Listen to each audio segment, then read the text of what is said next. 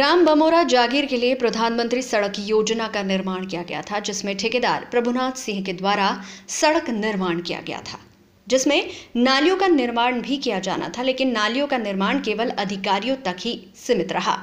वहाँ सड़क पर ना तो नालियों का निर्माण किया गया और सड़क इतनी खराबी से निर्माण की गई कि सड़क कुछ ही दिनों में खराब हो गई। उस सड़क निर्माण के कारण बावड़ी खेड़ा, बामोरा के मोहल्ले वासियों का आना जाना बिल्कुल खराब हो गया। इसमें अब वहाँ पहले ही बारिश में घुटने घुटने पानी भरा हुआ है, जिससे छोटे छोटे बच्चों का घर में ही रोकना पड़ता है। और उसी मोहल्ले में मुस्लिम समुदाय लोगों की मस्जिद भी है, जिनमें उन लोगों का पाँच टाइम का आना जाना लगा रहता है और वह भी इस रास्ते से परेशान है। इसकी शिकायत बावड़ी खेड़ा मोहल्ले के निवासियों ने सीएम हेल्पलाइन नंबर 181 पर की। जिसमें से उसका कोई भी समाधान नहीं हुआ है।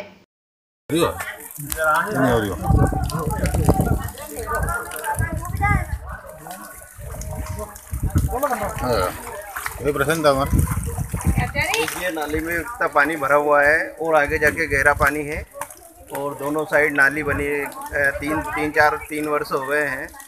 नाली दोनों तरफ़ बनी हुई नहीं है। ठेकेदार ना मालूम ले दे के उनका काम उनने कर लिया है। और इधर देखो आप इधर गहरा पानी थोड़ा ज़्यादा है। बच्चे बच्चे परेशान होते हैं मच्छर वच्छर की परेशानियाँ होती है।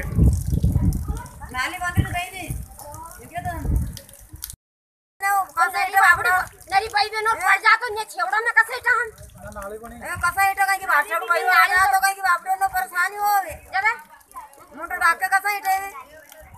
दो टाइम रोटी को टप लेके तुम तो यहाँ एकदम तो सारी गाड़ी के घर जाके मैंने कपड़ा बदलिए नाले बंद रहे कहीं नहीं था हमारे बने होगे।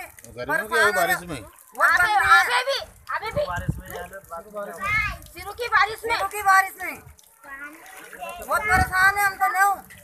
घर में कब तक रखा बच्चे बच्चे